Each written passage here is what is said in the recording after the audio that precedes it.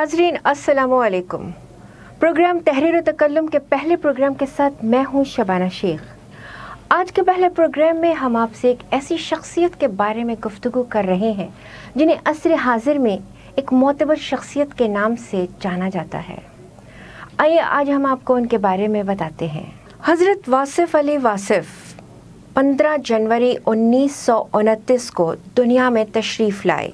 और 18 जनवरी उन्नीस सौ तिरानवे को इस जहान फ़ानी से कूच कर गए। आप 20वीं सदी के मुस्लिम सूफ़ी शायर, कॉलम निगार, रूहानी स्कॉलर, दानश्वर थे। आपके वालिद का नाम मलिक मोहम्मद आरिफ था। खुशाब की तहसील शाहपुर से ताल्लुक़ रखते थे। इब्तदाई तालीम गवर्नमेंट हाई स्कूल खुशाब से हासिल की। उसके बाद नाना के पास झंग चले गए और यहाँ दिल लगा कर तालीम हासिल की। Matric F A B A first division में पास किया। कॉलेज में हॉकी के खिलाड़ी थे और तालीम और खेल के बिना पर अपने कॉलेज में उन्नीस सौ उनचास में एवॉर्ड ऑफ़ ऑनर दिया गया। उन्नीस सौ चौवन को वेस्ट पाकिस्तानी पुलिस का ट्रेनिंग सर्टिफिकेट दिया गया। उसके बाद पंजाब यूनिवर्सिटी लाहौर से एम ए इंग्लिश अदब किया। उन्नीस सौ बासठ में आपने पुरानी अनारकली के नज़दीक अपना कॉलेज बनाया, जिसका नाम लाहौर इंग्लिश कॉलेज रखा। आपकी शादी 24 अक्टूबर 1970 को हुई। आपका एक बेटा और तीन साहबजादियाँ हैं। नाजरीन कराम ये तो इब्तदाया तारफ़ था हज़रत वासिफ़ अली वासिफ़ का। एक बात का ज़िक्र मैं यहाँ करूँ कि कुरान पाक में रातों को जागने वालों की बड़ी अजमत बयान हुई है। और हज़रत अली का फरमान है, कामयाबी के लिए रातों को जागना पड़ता है। अल्लामा इकबाल का शेर भी है अतार हो, रूमी हो, राज़ी हो, गजाली हो।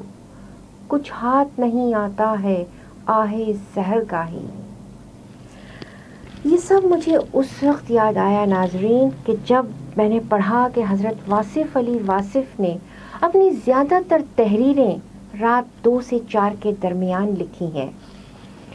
आपके शागिर्दों में अदीब, शौरा, दानश्वर, ब्यूरोक्रेट, वकला, मलंग, दरवेश, सहाफ़ी, दानश्वर और तालब इलम शामिल हैं। अहले ज़ौक़ नज़र अपनी प्यास व तलब के मुताबिक फैज़याब होते रहे। और आप रूहानी गलबे के सबब एक बहुत बड़े सूफ़ी के रूप में ज़ाहिर हुए हैं। इश्क मजाजी की मंजिल से गुज़र कर इश्क हकीकी से सरफराज हुए। और अपनी ज़ाती ज़िंदगी इल्म मुशाहिदे से लोगों को फलाह के रास्ते में दिखाने में बसर की। आप लोगों में उम्मीद की किरण पैदा करते हैं और उन्हें अच्छे औसाफ अपनाने की तरफ़ रगबत दिलाते हैं। नेकी की राह पर चलाने के लिए ऐसा हौसला बख्शते हैं कि मायूस इंसान भी कहता है कि बस मेरी असलाह हो जाए। बड़ी प्यारी बात वासिफ़ अली वासिफ़ की, सुकून हासिल करने की कोशिश छोड़ दो। सुकून देने की कोशिश करो। सुकून मिल जाएगा। बेसुकूनी तमन्ना का नाम है। जब तमन्ना फरमाने इलाही के ताबे हो जाए तो सुकून पैदा हो जाता है। आज के दौर में नाजरीन कराम अगर देखें तो बर्दाश्त ख़त्म हो चुकी है। जबकि वासिफ़ अली वासिफ़ कहते हैं कि अक़ीदे की पुख्तगी का इख्तलाफ अक़ीदे को बर्दाश्त करना है। यानी अगर आपकी किसी बात को, किसी चीज़ को सामने वाला मुखालफत कर रहा है तो आपका काम है कि आप उसको बर्दाश्त करें। वासिफ अली वासिफ कहते हैं कि मुझे मेरे रब के सामने बोलना बहुत पसंद है। वो मुझे बहुत गौर से सुनता है। वो इंसानों की तरह ये नहीं कहता कि, अरे, तुम्हारी तो आदत है रोने धोने की। आप जानते हैं कि मेरा रब मुझे कहता है कि मेरे बंदे सब्र कर। बेशक हर मुश्किल के साथ आसानी है। कुरानी आयात से मेरा रब मुझे हौसला देता है।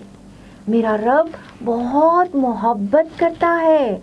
मेरे साथ उस जैसी मोहब्बत कोई कर ही नहीं सकता। और मुझे अपने रब के साथ बातें करना बहुत अच्छा लगता है। कुदरतुल्ला शहाब से किसी ने पूछा कि आपकी किताब में शुक्रिया के बड़े नाम लिखे हुए हैं। उनमें सिर्फ़ एक नाम है जिनके साथ साहब लिखा है, और वो हज़रत वासिफ़ अली वासिफ़ हैं। उनके नाम के साथ साहब क्यों लिखा है? उन्होंने जवाब दिया कि साहब कहलवाने के लायक ही सिर्फ़ वो हैं। जो अल्लाह का बंदा साहब होता है, उसके पास ओहदा ना भी हो, तब भी साहब ही होता है। क्योंकि ऐसे लोग दिलों के साहब होते हैं। हज़रत मौलाना जलालुद्दीन रूमी से किसी ने पूछा कि आप दुनिया से जाने लगे हैं, आपने फरमाया, नहीं, मैं दुनिया की मसनत से उठकर दिलों की मसनत पर बैठ रहा हूँ। दिलों की मसनत, बड़ी कमाल की मसनत है। ये नसीब वालों को मिलती है। हज़रत वासिफ़ अली वासिफ़ से किसी ने पूछा कि ज़िंदा कौन है, मुर्दा कौन है? आपने फरमाया, जो दिलों में ज़िंदा है, वो ज़िंदा है। जो यादाश्त से निकल गया, वो ज़िंदा ही नहीं। क्या कमाल की बात है। दोस्तों, ऐसे भी अल्लाह वाले आते रहते हैं जो ज़िंदगी भर गुमनाम रहते हैं।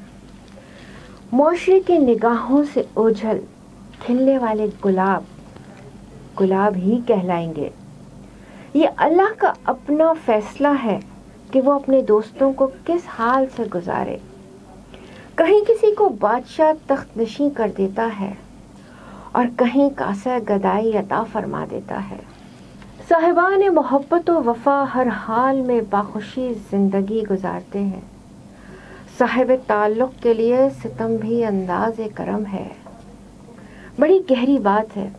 गौर कीजिए साहब, साहिब ताल्लुक़ के लिए सितम भी अंदाज करम है। नाजरी कराम, हज़रत वासिफ़ अली वासिफ़ इस जहान फ़ानी से तो कूच कर गए, लेकिन अपने चाहने वालों और मद्दाहों के दिलों में हमेशा ज़िंदा रहेंगे। चले हो साथ तो हिम्मत न हार ना वासिफ़, के मंजिलों का तस्वर मेरे सफ़र में नहीं है। नाजरीन कराम आज हमने गुफ्तु की जनाब हज़रत वासिफ़ अली वासिफ़ के बारे में। अगले प्रोग्राम में एक और शख्सियत के बारे में आपसे गुफ्तु करेंगे।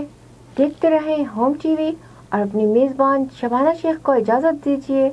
अल्लाह हाफ़